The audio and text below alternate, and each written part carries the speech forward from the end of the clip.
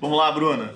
Assunto de hoje: inflação nos Estados Unidos, aumento de juros, o que está acontecendo no cenário global. Saiu o resultado agora em maio, é, o preço do consumidor subiu mais de 8% em comparação ao ano anterior. Isso é um aumento muito relevante para os Estados Unidos, né? Inclusive, é, algumas pesquisas já sinalizaram que os americanos estão achando que a inflação chega a ser um problema maior até do que a guerra da Ucrânia. Então, Biden já sinalizou que a inflação virou prioridade interna agora, né? uma medida que precisa ser combatida né, no governo americano. Está muito claro que isso agora virou de fato prioridade.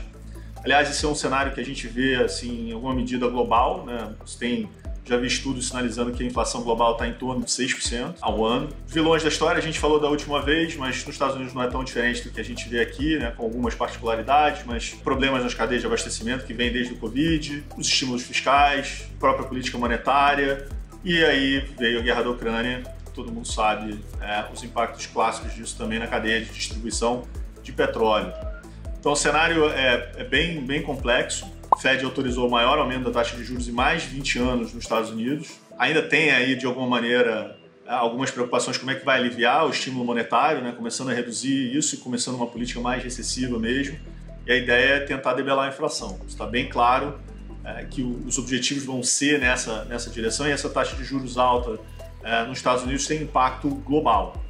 A preocupação continua, porque a, a, tem uma leitura de que a atividade econômica diminuiu, mas os gastos das famílias continuam altos, né? É, e os ganhos de emprego, nas taxas de crescimento de emprego, é, têm crescido, desemprego reduzindo. Então, tem uma leitura de que a inflação vai ser um pouco mais resiliente é, do que já foi no passado. Então, o cenário americano, me parece, é, pelo menos o que a gente tem visto, é que essa luta inflação versus aumento de taxa de juros vai permanecer aí ainda que no curto prazo mas como é visível, a gente tem acompanhado o mercado de tecnologia, como ele está evoluindo, o que está acontecendo, as mudanças. Então, para continuar vendo, sabendo o que está acontecendo, se inscreve no canal, ativa o sininho e até semana que vem. Tchau, tchau, gente.